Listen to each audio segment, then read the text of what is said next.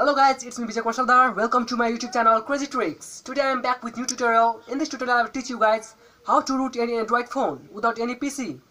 So if you are new in my channel, please subscribe, give me thumbs up like and also hit the bell icon so that you can get uh, new videos when I upload. So let's start guys.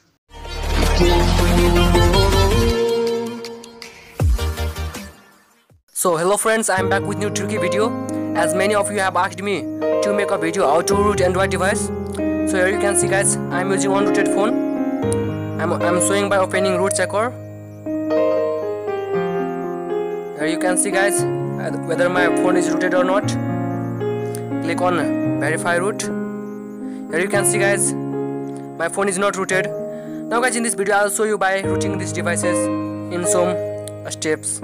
So go back and here guys you have to enable option that is uh, USB debugging mode and uh, low mock location so guys this option you can get in uh, your developer option. So go to developer option. Here you can see already have enabled USB debug debugging mode.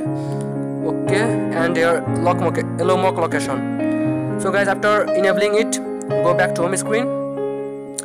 And now guys here you have to uh, install an app that is 360 root here you can see I already have installed it. So let's open it. Now guys here, here you can see my 360 root has been opened. And now you have to click on your root click on root root now guys here you can see the root process have been started. And in a few minutes it will be successfully rooted so wait for a while guys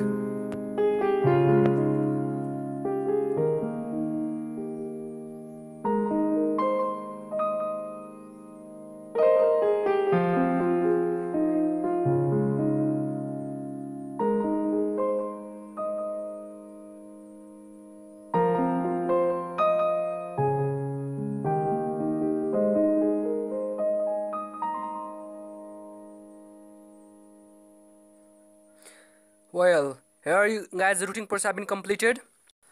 So guys let's go back and open root checker